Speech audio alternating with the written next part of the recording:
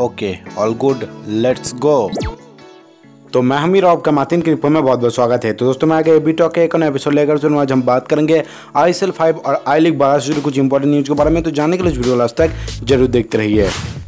तो पहले बात करेंगे आई फाइव के बारे में। तो आई फाइव का लास्ट मैच हुआ था एक नवंबर को, जो आई फाइव का नंबर 25 मैच था। Jamshedpur F C versus F C Goa Jamshedpur के जे टाटा स्पोर्ट्स कॉम्प्लेक्स पर मैच हुआ। जमशेदपुर ने इस मैच पर अपना जीत हासिल कर लिया। जमशेदपुर एफ़ ने टोटल चार गोल लगाया था। दूसरी तरफ़ एफ़ सी गोवा ने सिर्फ़ एक ही गोल लगा पाया था। जमशेदपुर एफ़ की तरफ़ से फारूक ने दो गोल लगाया था। पासी ने एक गोल लगाया था और मीमो ने एक गोल लगाया था। एफसी गोवा की तरफ़ से गोल लगाया था। मर्तुदा फॉल ने सिर्फ़ एक गोल उसके बाद नेक्स्ट आज मैच हो रहा है, दो नवंबर आई फाइव का number 26 match FC Pune city versus Kerala blaster FC Pune के श्री शिव छत्रपति स्पोर्ट्स कॉम्प्लेक्स पर मैच हो रहा है। शाम साढ़े सात बजे मैच स्टार्ट हो जाएगा। आप अगर चाहो तो इस मैच को ऑनलाइन हॉटस्टार पर देख सकते हो जी पर देख सकते हो टीवी में स्टार स्पोर्ट्स नेटवर्क पर। और इसके बाद ISL का नेक्स्ट मैच होगा, तीन नवंबर, जो आई फाइव का नंबर सत्ताईस मैच होगा, Chennai F versus Mumbai city FC Chennai के जवाहरलाल नेहरू स्टेडियम पर मैच होगा, शाम साढ़े सात बजे मैच स्टार्ट हो जाएगा। आप अगर चाहो तो इस मैच को ऑनलाइन हॉटस्टार हॉटस्टार पर और जी पर देख सकते हो और टीवी में स्टार पोस्ट नेटवर्क पर। और अब चलिए बात कर लेते हैं आईएसएल के एक बहुत ही बड़ा इंपॉर्टेंट मुद्दे के बारे में। तो दोस्तों, अब आईएसएल का यंगेस्ट गोल स्कोरर कौन है? कोमल थेदत या गौरव मुखी तो दोस्तों, सबसे पहले आईएसएल का यंगेस्ट गोल स्कोरर था जेडी जो अभी जमशेदपुर एफसी की तरफ़ से खेला है। उन्होंने 1 दिसंबर 2016 में एफसी गोवा के विरुद्ध एक गोल लगाया था और उसके बाद उनका ही रुतबा आ रहा था कि वो यंगेस्ट गोल स्कोरर है आईएसएल में।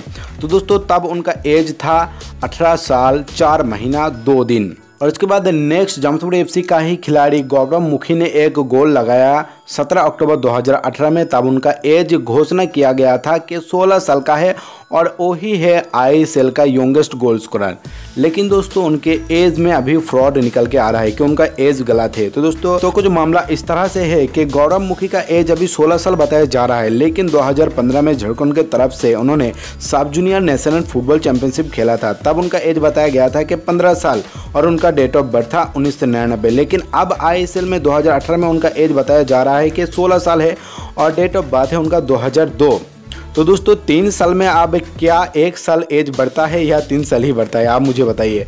2015 में उनका एज बताया गया था कि वो 15 साल का है और अब 2018 में बताया जा रहा है कि 16 साल का है। तभी का अगर डॉक्यूमेंट्स देखा जाए उनका तो वहाँ पर डेट ऑफ़ बर्थ है उन्नीस सौ निन्यानबे और अब अगर देखा जाए तो यहाँ पर दिख रहा है कि 2002 में। तो यहाँ पर बहुत ही बड़ा गड़बड़ है, बहुत ही एज को लेकर अभी इनका प्रॉब्लम चल रहा है। अभी तक आईएसएल कम्युनिटी इसको क्लियर नहीं कर पा रहा है। लेकिन दोस्तों, उनको देखकर उनका जो शरीर का गठन है, सभी को देखते हुए मुझे तो लग रहा है कि उनका एज कभी भी 16 साल नहीं हो सकता है। और आईएसएल कम्युनिटी को भी ऐसा लग रहा है। तो अभी के लिए जब तक उनका एज क्लियर नहीं होता है, तब तक के लिए कोमल थदट ही यंगेस्ट गोल स्कोरर रहेगा आईएसएल हिस्ट्री में। तो मुझे लग रहा है कि यहाँ पर कुछ भी परिवर्तन नहीं होगा। गौरव मुखी का एज और भी ज़्यादा ज़्यादा होगा 16 साल से और कोमल थदर ही यंगेस्ट गोल स्कोरर रहेगा आईएसएल के हिस्ट्री में। आपका क्या रहा है इस बारे में आप मुझे कमेंट में ज़रूर बताइए। और अब चलिए बात कर लेते हैं आई लीग बारह के बारे में। तो आई लीग बारह से जुड़े आज कोई भी मैच नहीं था तो कुछ भी रिज़ल्ट सामने नहीं आया। तो मैं आपको एक बार बता देता हूँ नेक्स्ट मैच के बारे में। जैसा कि मैंने आपको कल के वीडियो में बता दिया था, लेकिन एक और बार आपको याद करा देता हूँ। तो नेक्स्ट मैच होगा कल, यानी कि तीन नवंबर, आई लीग बारह का नंबर दस match, Mohun Bagan F C versus Aizawl F C. Kolkata के सॉल्ट लेक स्टेडियम पर मैच होगा। शाम पाँच बजे से मैच स्टार्ट हो जाएगा। आप अगर चाहो तो ऑनलाइन हॉटस्टार पर देख सकते हो जी पर देख सकते हो, और टीवी में स्टार स्पोर्ट थ्री पर। और इसके बाद जो नेक्स्ट न्यूज़ है, मोहन बागान फैनों के लिए एक बहुत ही बड़ा गुड न्यूज़ है, क्योंकि उनका स्टार खिलाड़ी सोनी नर्दे पूरी तरह से फिट हो चुका है और शायद वो आईजोल एफ़ के विरुद्ध मैदान में उतर भी सकता है।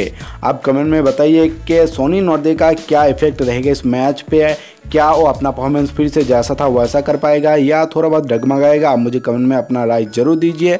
तो अभी के लिए इस वीडियो में बस इतना ही। आपको बहुत बहुत शुक्रिया। टाइम निकाल के इस वीडियो को देखने के लिए। आपको वीडियो अच्छा लगे तो लाइक ज़रूर कर दीजिए। अपने दोस्तों से तो वीडियो को ज़्यादा से ज़्यादा शेयर कर दीजिए ताकि उनको भी इस तरह की इंपॉर्टेंट चीज़ों के बारे में पता चले। आई और आई लीग से जुड़े मैं आपको मिलता हूँ नेक्स्ट वीडियो पर तब तक के लिए अलविदा।